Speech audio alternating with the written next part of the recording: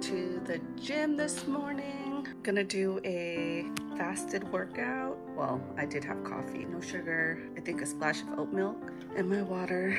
Now that I'm back on day shift, I can start integrating working out like I used to before. I would say five days, on average, five days of the gym, maybe a six, and I was really, really active and I felt really, really good. So that is my goal. So yeah, to the gym.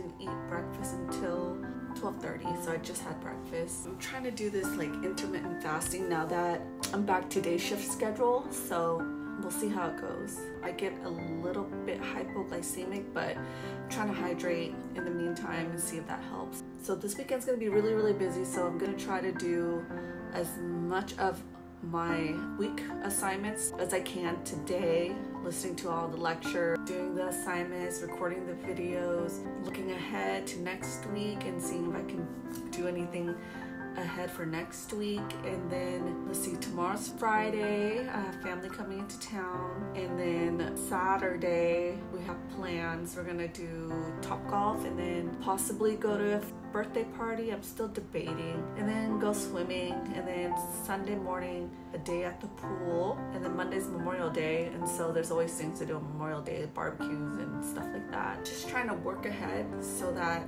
I don't have to stop in between family time and fit in my assignments, which, you know, I do in a rush and then I'm not concentrating and it's not, it's like subpar work. And then, yeah, the classes I'm taking this semester are really, really important. I mean, every class is important, but I'm doing acute, acute conditions. And so we're going over a lot of the conditions that I'll see in primary care or urgent care as a family nurse practitioner. Those are the typical settings that we'll be working. We're going over a lot of the conditions that I will encounter in my practice. I'm just trying to learn and absorb and studying more than I normally would for my classes but only because I want to be the best possible provider to my future patients. So now I'm going to get on to studying for the day, life of, of a nurse, of a student. You just got to juggle and plan and schedule and try to get things in and look ahead. It's very important to look ahead. All right, I'm going to get to studying. Talk to you guys later.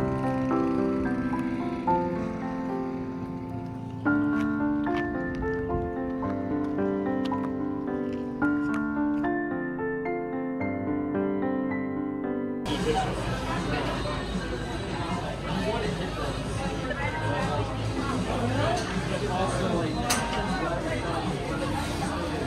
come over here, dude. Maybe get over there.